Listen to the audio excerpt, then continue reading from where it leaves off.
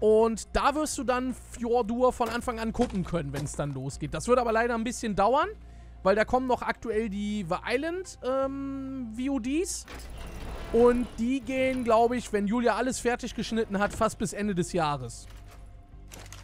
Das heißt also, Anfang nächsten Jahres fängt das dann dort an, wahrscheinlich mit Fjordur.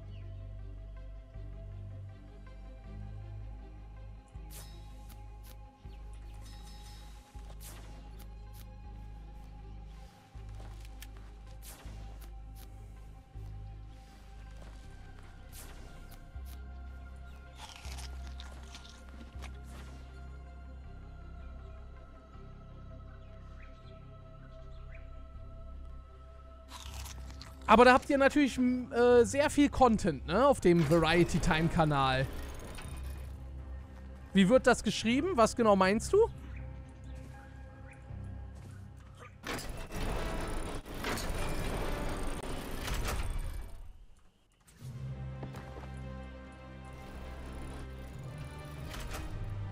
Oh, ein zu viel gemacht.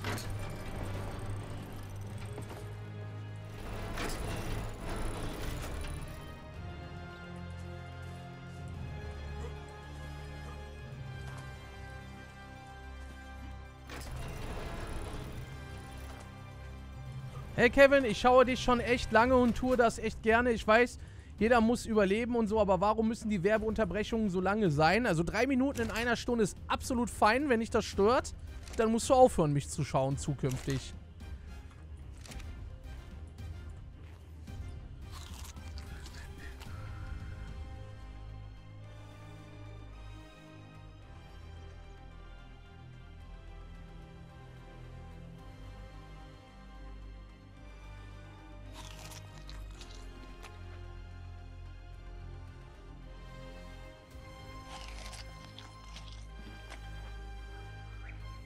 Keymaster, moin.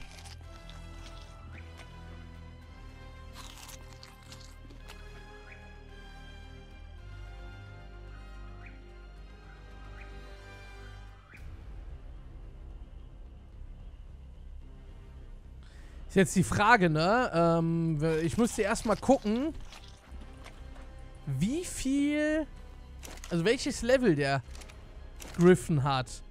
Ich könnte nämlich jetzt gerade mal 24 von diesen Pfeilen machen.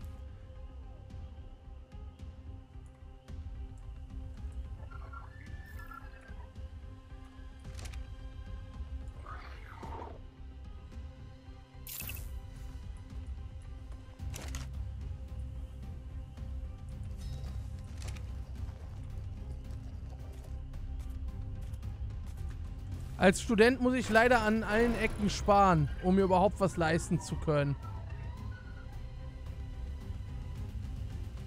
Ähm, ja, ist ja kein Problem, aber ich finde trotzdem drei Minuten Werbung sind völlig fein und das hat auch nichts damit zu tun, Akiklon, dass ich zu toxisch geworden bin.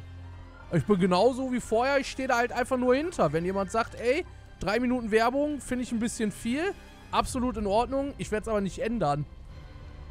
Weil ich finde drei Minuten auf eine Stunde völlig in Ordnung. Und jetzt würde ich auch gerne einfach weiter zocken und da gar nicht mehr so drüber diskutieren. Wenn dir von 60 Minuten Livestream drei Minuten Werbung als zu viel erscheinen, dann tut's mir leid. Trapix, Dankeschön für den Prime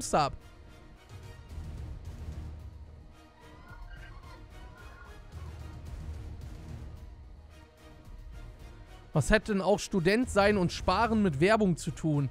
Ja, wahrscheinlich, weil die Mods gerade geschrieben haben, dass wenn er einen Sub raushaut, er keine Werbung mehr kriegt. Muss er ja nicht, aber ich finde drei Minuten, wie gesagt, halt völlig fein. Und das mache ich seit acht Jahren, wo ich jetzt auf Twitch unterwegs bin, so.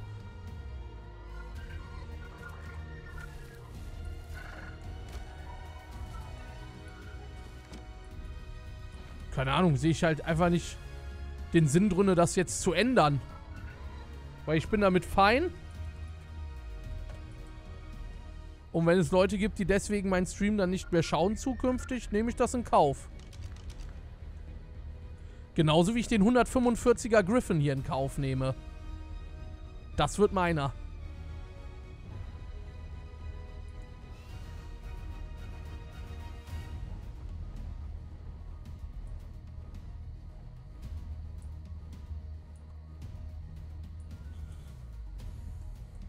Da sind wir mal wieder bei dem Thema Fügung des Schicksals. Wäre mir der Drache nicht gestorben, hätte ich jetzt vielleicht die ganze Zeit nach einem Drachen gesucht.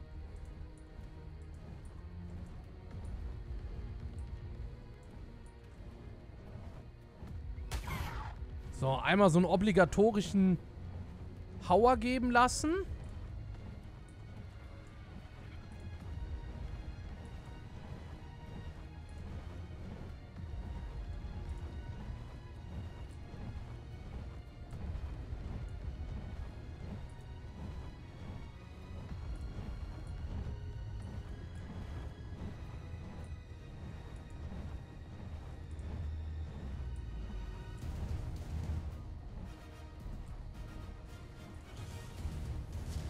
Könnt ihr mir mal einen Gefallen tun? Kann mal einer von Akilon 2020 die Watchtime überprüfen?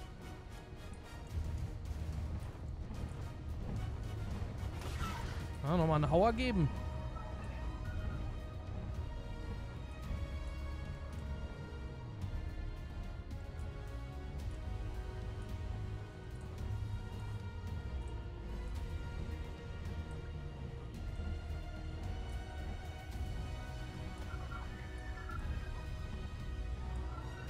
Vier Stunden. So viel zum Thema. Hab viel Zeit bei dir verbracht. Danke dafür, aber du bist mir zu toxisch geworden.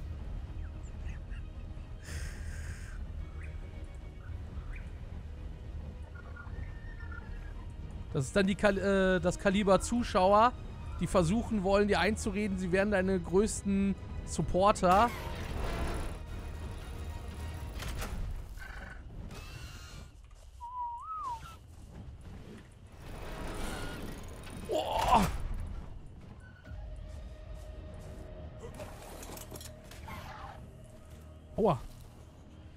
Wie viele Pfeile braucht der?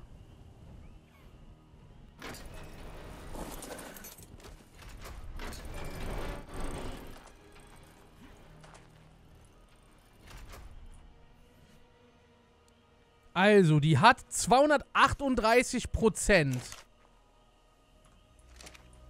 Der ist Level 145.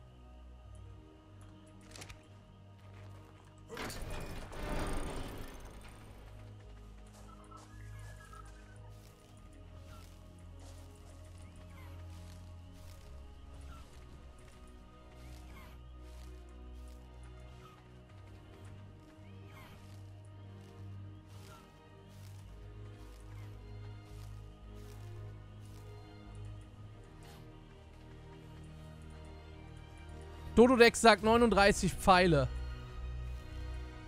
Okay, der wird ja jetzt nicht respawnen in der Zeit, wo ich hier bin. Wir müssen eh gerade warten, bis das Fleisch gammelig ist. Das dauert noch 3 Minuten 50.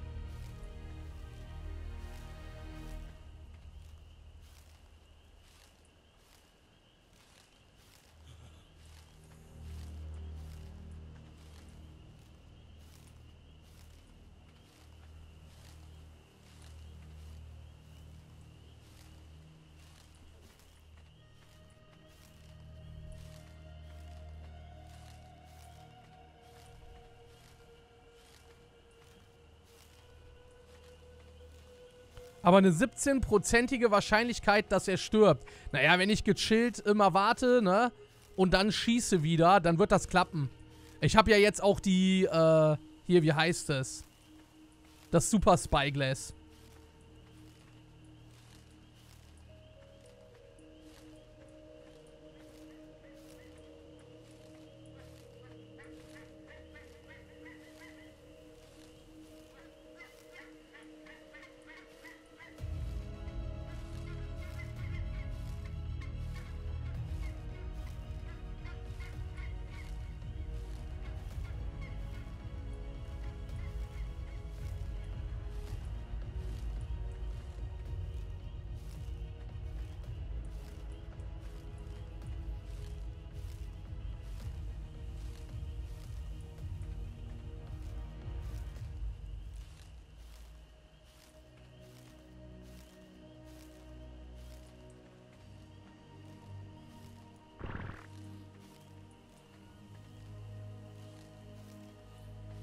Ich glaube, dem gefällt das gar nicht, dass ich den da so drinne gefangen habe. Der sieht aus, wenn er stinksauer wäre.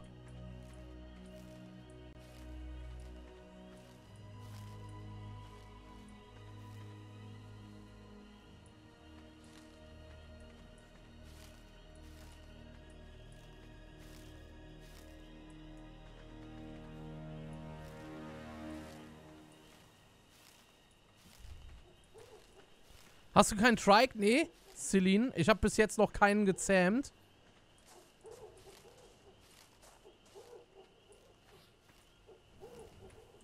Wie viel Prozent hat der Crossbow? 238.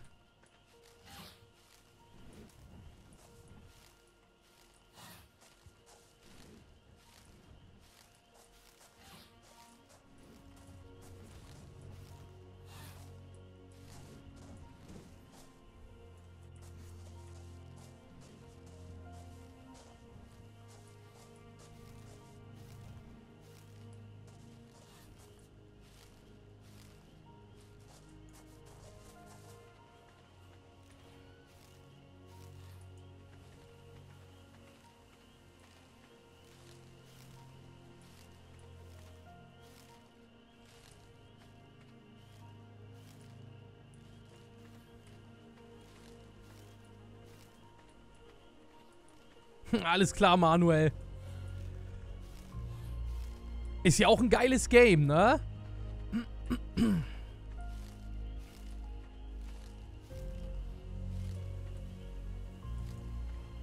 Also wenn Drachen 40 Level über dem Sta äh, Standardlevel sein können, dann wird es 190 sein. Aber ich meine ja.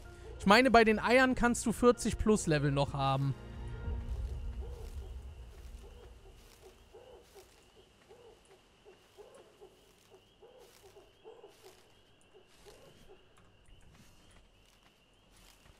Okay. Let's go, Leute.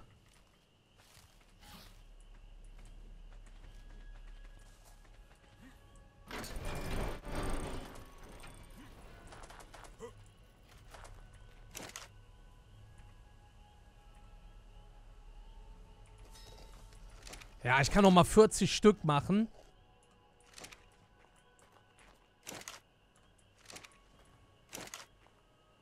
Und hier habe ich 55 Bolzen.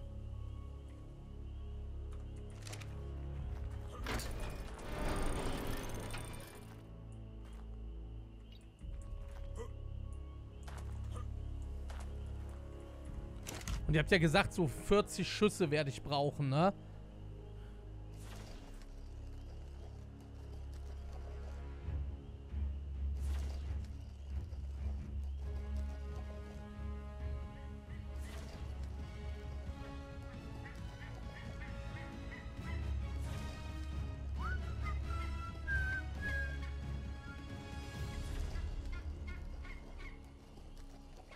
Vielen Dank für die Follows, Leute.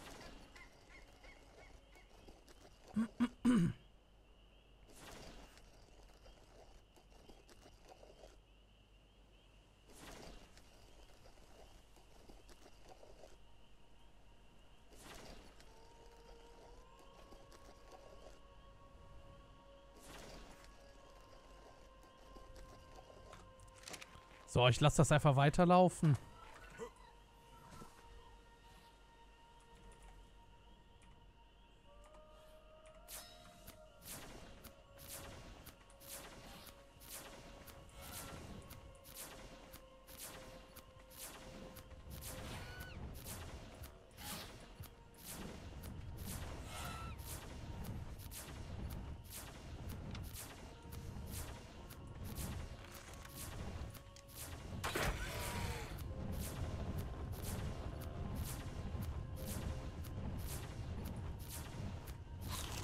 Seht ihr auch, wie schnell der durchtickt, ne?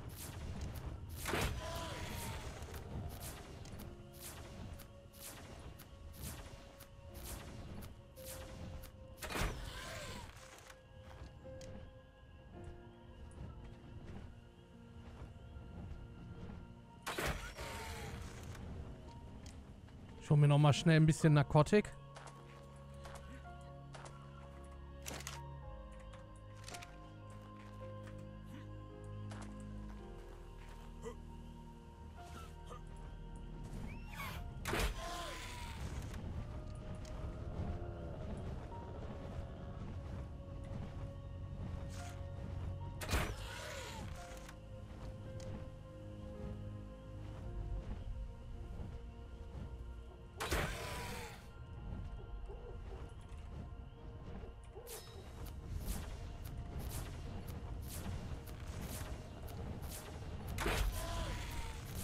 In seinen Arsch.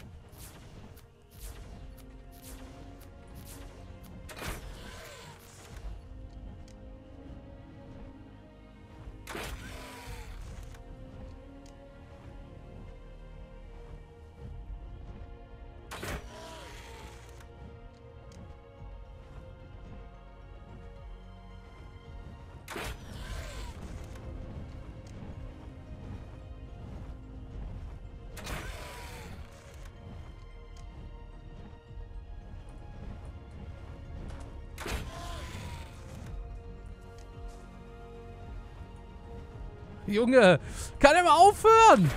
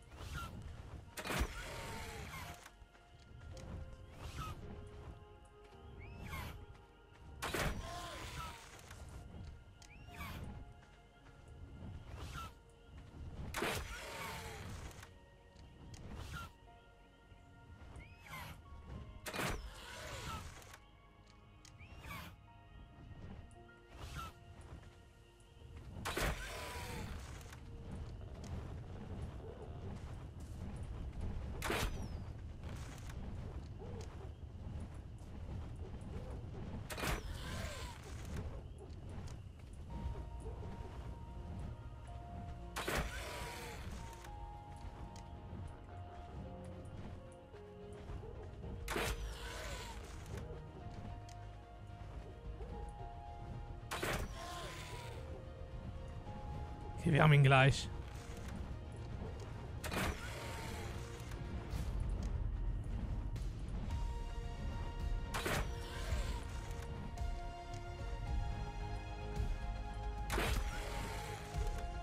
Gleich ist der große Moment, Chat.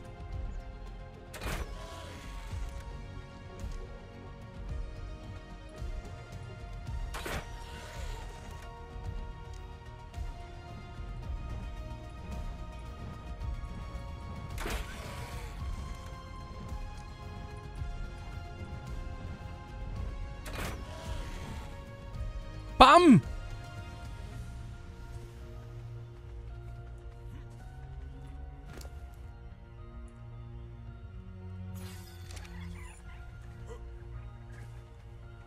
Dickes GG einmal.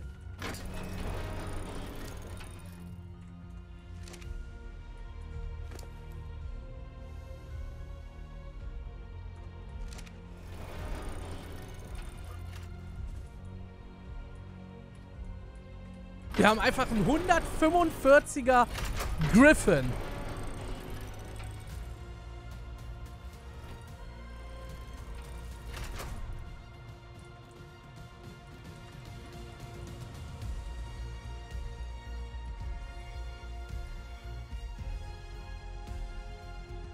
Och nein, das ist eine Mastsau. Oh no. Das ist eine G-Time-Mastsau. 30 Food. 25 in Tauchen. Oh Gott.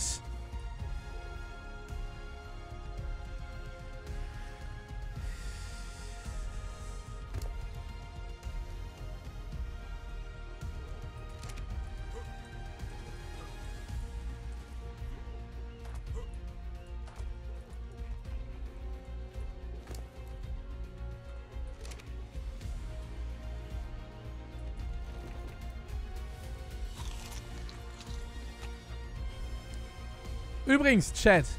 15 Uhr.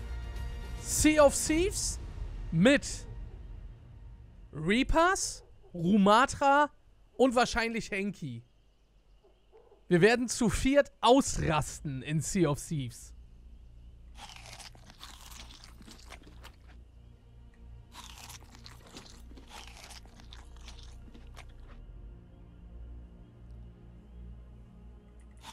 Da könnt ihr euch freuen, Chat.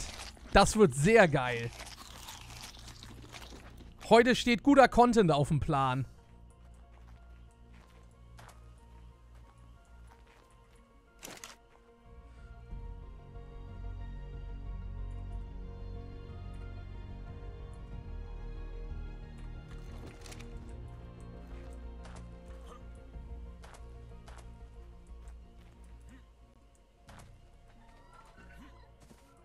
Eugas, moin. Ja, der muss mal was fooden, damit ich sehe. Ja, okay. Ja, ja, ja, ja. Der wird fertig. Easy going. Leute, wir haben einen Griffin. Ich bin einfach ein Gryffindor. Digga, der kriegt 72 plus Level. Der wird über Level 200 sein.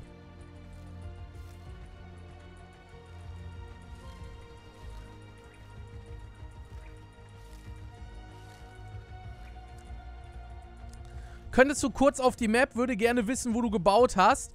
Okay, wir machen es so, ab sofort. Immer wenn jemand die Map sehen will, muss er einen Sub dafür ex extra raushauen.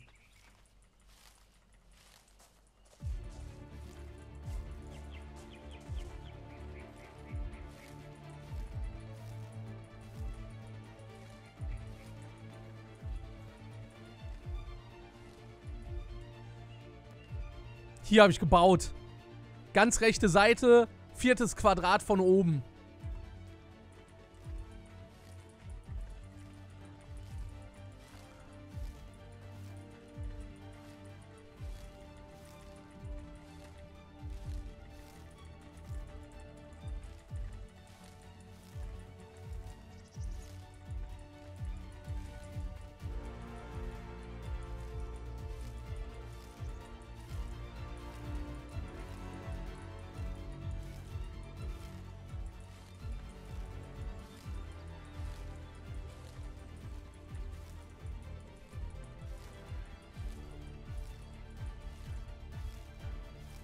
Mit welchen Mods spielst du? Ich habe auf äh, YouTube ein Video darüber gemacht, Narco EU. Und vielen Dank für die Follows, Leute, ne?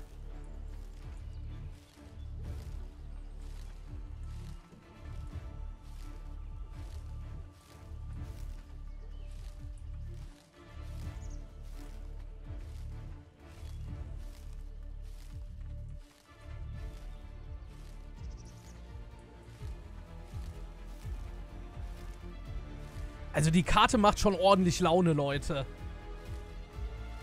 Und wir haben noch so viel, was wir machen können, ne? Wir, wir, jetzt haben wir ja einen Griffin, jetzt können wir richtig geil loslegen. Wir können jetzt die ganzen Farmviecher nach und nach ranholen, können Unmengen an Ressourcen farmen, bauen uns richtig auf. Dann werden weitere Viecher rangeholt, dann geht's züchten los. Das wird richtig geil. Sehr viel geilen Content. Wie kommt eigentlich die erste Folge auf YouTube an? Ich will mal gucken.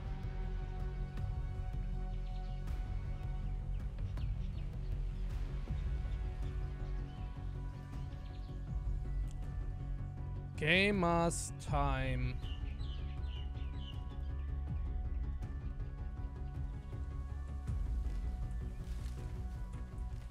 Einfach mal schauen. Oh, okay. Ja. Gut, ist unter der Woche. Da denke ich mal, werden heute Abend noch ein paar Leute sich anschauen, was abgeht.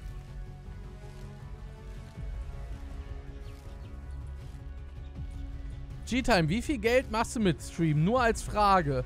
Ist eigentlich keine Frage, die wir timeouten müssen, Mods. Ist ja eigentlich eine vernünftige Frage. Ähm, RTX, das kommt immer ganz drauf an. Also es gibt Streams, da mache ich nicht mal 20 Euro. Und dann gibt es Streams, wo du auch halt mehr machst. Ne? Das kommt immer drauf an. Ich glaube, gestern... Ich weiß gar nicht. Ich kann mal gucken. Ich bin ja jetzt nicht so jemand, der da irgendwie ein Geheimnis drumherum macht. Aber ich habe es jetzt auch nicht nötig, damit irgendwie rumzuprallen. Deswegen erzähle ich da auch nicht viel zu. Ähm, aber ich kann mal gucken. Gestern der Stream hat 784 Euro gebracht.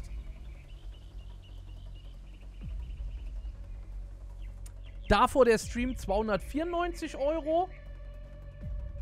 Aber das sind auch nur jetzt, also nur Subs, Bits und Donations, ne? Da ist jetzt nicht Werbeeinnahmen mit drin. Das kommt noch on top quasi. Minus 50 Steuern. Ja, sind ja keine 50% in Deutschland. Sind ja irgendwie 42%. Aber du musst auch noch andere Sachen dazu rechnen. Ich zahle zum Beispiel 900 Euro an Krankenkasse, weil ich bin ja gesetzlich krankenversichert und ich muss Arbeitnehmer- und Arbeitgeberanteil zahlen. Das heißt, die beiden Livestreams, die haben jetzt gerade mal meine Krankenkasse finanziert.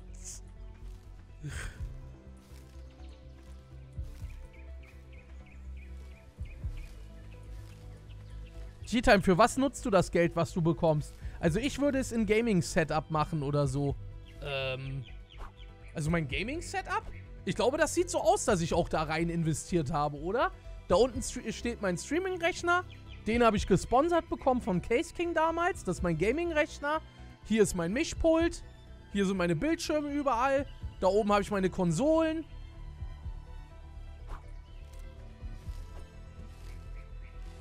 Noch mehr Geld kann ich eigentlich gar nicht mehr ins Gaming-Setup investieren. Ich habe schon somit, glaube ich, das Beste vom Besten, was man sich holen kann.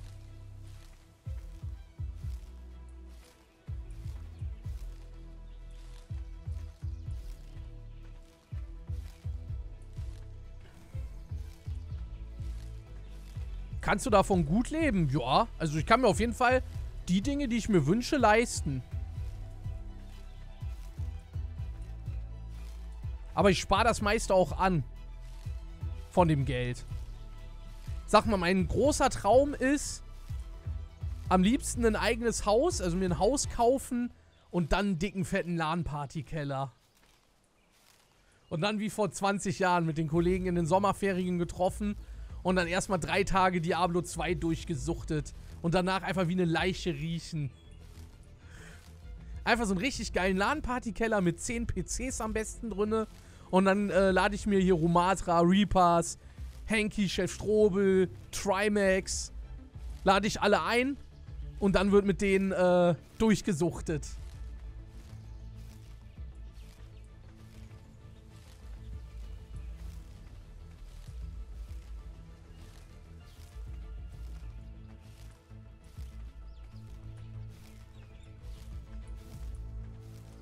Und ich würde mir eine richtig geile Küche einbauen.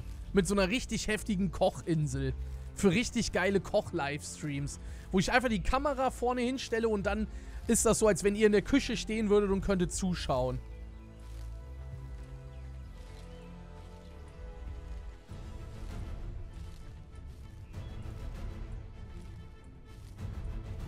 ...750.000, dann viel Spaß beim Sparen. Naja, dann hast du ja wenigstens ein Ziel vor Augen, oder nicht? Und wäre ja auch eine coole Sache, ne? Für meine Zuschauer kann ich dann immer geile Events machen.